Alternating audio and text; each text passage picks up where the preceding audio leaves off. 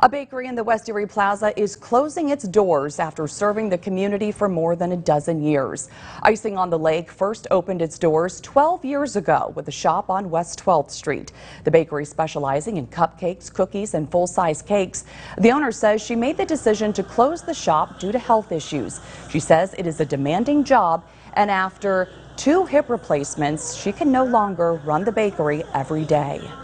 We have wonderful customers. Uh, business has been great, so it's definitely it, it's hard. It is hard to close a business when the business is good uh, because we have such loyal customers, and I, I really will miss all of them. I, I really will. So it's bittersweet. Now, the store will close on December 31st. However, customers can still enjoy treats from the automatic vending machine located outside the shop.